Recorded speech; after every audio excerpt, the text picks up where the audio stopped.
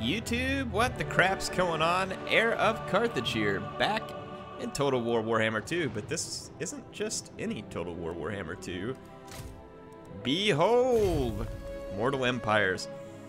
So that's right, I've gotten access to an early look at Mortal Empires. This is not actually the release version.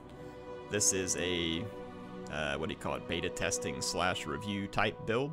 Um, so it is probably very similar to what you'll see on release, but obviously no guarantee that the final one is exactly I, like it. Tyrion, But I think we have reason to believe that they would be close. So this is what the Mortal Empires um, faction selection screen looks like. See, there's a lot of legendary lords up there. I like the way they've laid it out too. Pretty neat. Where you just got all the uh, icons up at the top. You scroll through, you can select. So this is going to have all the factions represented in the games. So pretty exciting. Where's a Chaos and others. So pretty much everything that you want to play through, you can play through. So definitely cool stuff. Um, so yeah, that's all here. And then in the campaign map, we'll go on to a map here in a minute, uh, and I'll show you what that looks like. But I want to head elsewhere and talk. Uh, apparently, there's a lot of updates coming too. Um, just a couple of quick things that I noticed whenever I was looking through the game. I have not had this for a terribly long time, so I've only gotten to play a couple hours of campaign. I played as the Empire. Went. It was fun. Um, I mean, I mean, it seemed like everything was working good. Uh, I don't have any like further insight than that now. Than I played a couple hours of uh, Empire campaign on that map. Um, let's talk a little bit about some changes that I noticed. So, for instance, um, whenever I was looking at some of the factions like dwarves, um, Slayers, didn't these guys cost a thousand? And then uh, I want to say these Dragonback Slayers got a little cheaper. There's been some price adjustments on a few on a few units. So it definitely seems like that uh, some of the units saw a little bit of a price adjustment. I don't know how many because I haven't gotten a chance to check into it. Also, I noticed that there's been a bit of an item adjustment too on some of the lords. So, like the Silver Horn of Vengeance and this Banner Lord, th there used to be a Fire Ring of Thori here.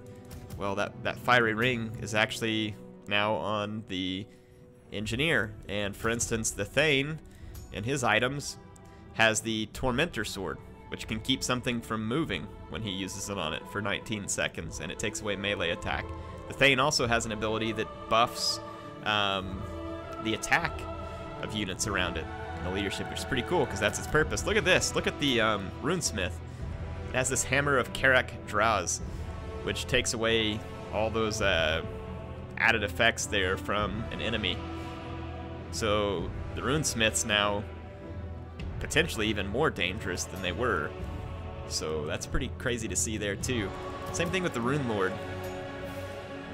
This may have been here actually, Master Rune, where you got the yeah. Never mind, the Rune Lord's the same, I think. But just a few interesting changes. Like I'll go over and speak to um, Beastmen. So when I took a look at Gorebull, for instance, wonder what they changed, if anything, for Gorebull. They give him this Axe of Men. It helps him cause terror. He does fear, but this one will give him terror for 41 seconds and makes him unbreakable. It can only be recharged if you're in melee. Interesting one. And then uh, the Banner of Fallen Kings here. So if his hit points are greater than 50%, then he gets some extra damage. And then if you look at some of the other units in terms of like just standard uh, shamans and wizards and stuff like that, they have different items.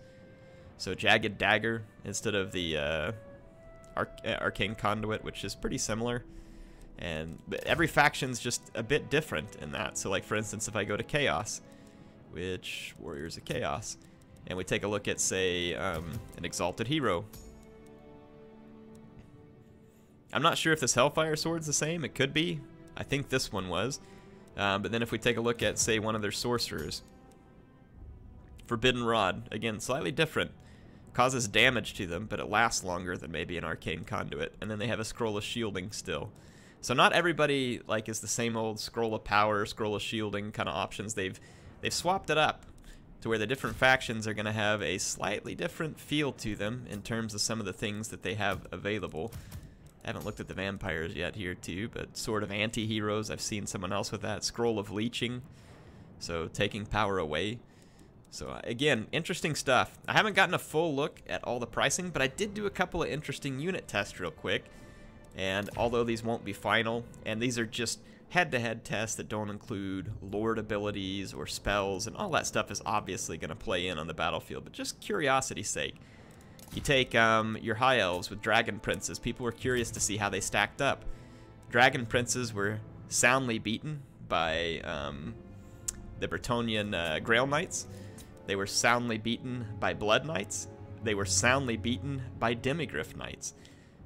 Interesting, huh? So people were wondering how that kind of stuff was going to stack up. So how are they priced? Well, they even actually got slightly beaten by Chaos Knights with lances. So if you look at it, eh, they stack in kind of where you'd think.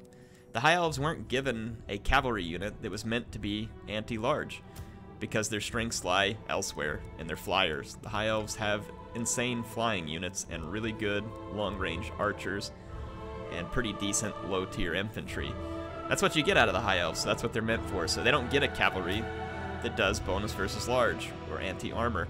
So although the High Elves may have dominated the cavalry scene within Warhammer 2, they certainly won't dominate it with these other races in now. So interesting to think. Other interesting things to consider. Man, think about being the dwarves in this day and age and the dark elves and people bringing a whole bunch of shades. Yeah, that could get nasty. So probably a good thing that they made slayers cheaper or some of the other things that are going to help you get around the map quicker. So it's, it's going to be interesting, folks. There's going to be a bunch of little stuff that we find that's been tweaked. I look forward to seeing a full list from Creative Assembly so we can study it and see if it's what we think it should be. Uh, let's jump into the campaign though, and let's just give you a feel for, for what the campaign the map looks like. We'll just jump on to Tyrion here. So you'd be like, Heir, this isn't one of the Warhammer 1 factions. That's true. I'll go jump onto one of their campaign screens just so you can see what, if any, difference there is.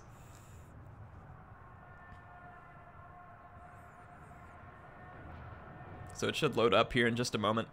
We'll show you how big the map is, how far it spans. You should have seen this already if you've been watching the news, but if not, I'll cover it here.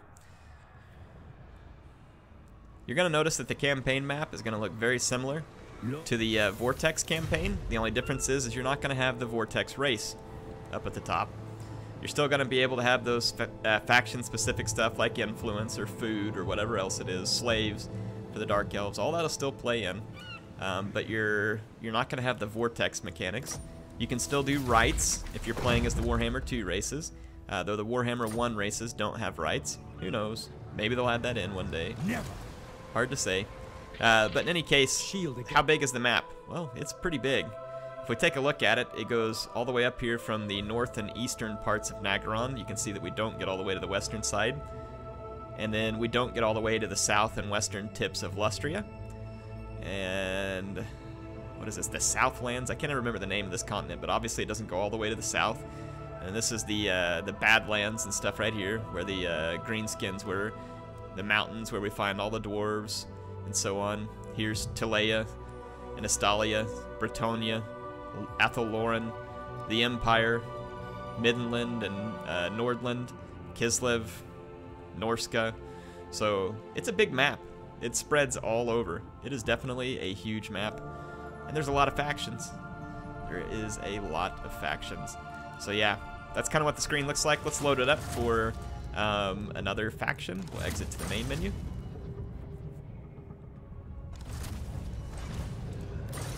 Campaign, new, Mortal Empires. I am and just for the sake of, we'll load into Karl Franz and give you all a feel for does it look any different? No, it doesn't. Now, there are a few key differences to keep in mind. So let's say you're a dwarf player, and you were always frustrated that you had to have a mod to settle uh, settlements outside of the mountains. That's no longer the case. So the climate-based settlement of the uh, Vortex campaign is now present for every faction. So that's something that's going to be different. You'll see here Altdorf in the green circle, meaning it's a suitable climate.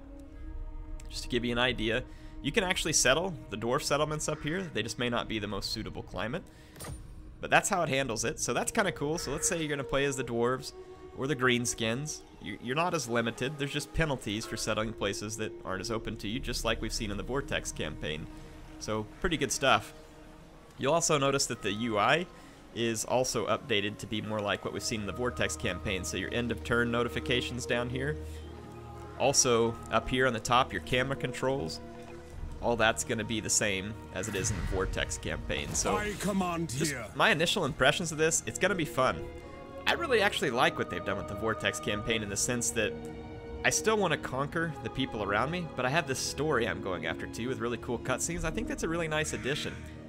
But at the same time, I'm kind of glad that, that Creative Assembly brought this giant sandbox into Warhammer 2, and, and it's really cool for a few reasons. One, some people don't like having to chase a story, they just want to do their own thing. And that's been the case in Total War. So that's why I think really cool for Creative Assembly to do this. They didn't have to.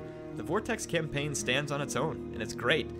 This is just really awesome that they're combining the two games, and the cool thing is, is that if you've spent money on Warhammer 1, that money is still relevant here in Warhammer 2, and you can use that same money to get continued entertainment by playing these same races again So- in the second game on a bigger map against new races with new mechanics and new features. That's awesome. There's nothing bad about that. If you've purchased the Blood and Gore DLC, it carries over to the second game. You don't have to do that anymore. And we know that the third game is going to be similar in the sense that it'll have another mega campaign in it. So, to me, this is really awesome. And my impressions of this is that it plays good. I think Creative Assembly spent a lot of time on it. I think there's some ways that they can polish it up and make it better still. Um, but overall, I mean, I'll tell you what, like, and I say better still, man, I don't know. I'm like all those people. Don't get me wrong. The map's huge, and I'm really grateful for it. I just wish they could have fit the whole thing in. I don't know what kind of problems they ran into, so I can't say exactly. But, like, for instance, there's a whole bunch of dead space over here on the map that's not usable. It's on there, but then there's settlements down here that we couldn't fit in. I'm sure it's because of the shape of things, potentially. Um, but in any case, stuff like that. Little things that could get polished up. Nothing that I'm going to sit here and, like, take away from the score on them. This was a free Now, update. And it was a massive update. does not have And it makes your um, it makes your game uh, or like your Warhammer 1 purchase still relevant. It's not like you spent money on it. No, now it's gone. We've rolled out Warhammer 2 and it's over. I, I really think this is cool. I wish more games would do this kind of thing, where the money I'm spending on a previous game carries over, and it makes sense, and I get to use it, and I get to continue to use it. So, I don't know. I'm really excited about it. I think this is going to be a lot of fun to play. Curious to see you all's thoughts. Now, a couple things. One, go down and check out the comments. I'm going to have a link to a straw poll where you can vote on which faction you want to see me play in the Mortal Empires map. What we'll do is we'll slow down a couple of our Vortex campaigns to do a Mortal Empire campaign. And then, of course, once we start finishing stuff up, we'll go back and revisit those uh, Vortex campaigns. So, for instance, I'm probably going to slow down my Skaven campaign, and we'll see which other. We'll, we'll take care of it. Probably the Skaven campaign for sure. And uh, But I'll keep the save files, don't worry. I'm going to even save my files up on the cloud now, too, so that they're safe, and we can go back to them later. Um, so people like, you never finish your campaigns. I will. I'll keep the save file. We'll finish it. Don't worry. But anyway, Mortal Empires is awesome. It's a free update, so you got nothing to lose. If you own Warhammer 1, it's going to carry all this stuff over into Warhammer 2 for you. If you've purchased Warhammer 2 and you don't own Warhammer 1, well, who knows? This could be a cool reason to get it. Um, and then you don't you can kind of play it all in one place too. And uh, again, I think it's pretty cool because it carries over into multiplayer. So now in multiplayer, all these factions are going to be available. So the, the depth of the multiplayer and the free-for-alls um, is going to grow. And it's exciting. Look at all the factions you have to choose from in multiplayer. It's going to be good times, folks. Should be very interesting. I'm interested to see how the new factions square up against the old factions and to see how well CA is doing at balancing this much. I thought their balance, other than some broken Skaven summons, was pretty dang good when the game released. In fact, Warhammer 2 has been in the best shape that I've seen a Creative Assembly game release in, well, ever. It's released in very good shape. Very good shape. Ever since I've been playing them from release, it's the best one, and that goes back to Empire Total War. That was the first one I played on release. Um, so, yeah, definitely doing well, and I have high hopes for this. We'll see how it goes. Definitely hope you enjoy it. Heir of Carthage signing out for now, and I'll see you with some Mortal Empires gameplay soon.